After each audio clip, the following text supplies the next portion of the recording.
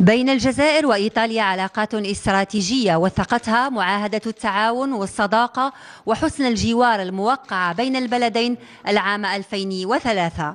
هذه العلاقات وسبل تطويرها كانت في صميم استقبال رئيس الجمهورية السيد عبد العزيز بوتفليقة لوزير الشؤون الخارجية والتعاون الدولي الإيطالي باولو جانتيلوني الذي أكد أن الآفاق كبيرة أمام العلاقات المتنوعة التي تجمع البلدين.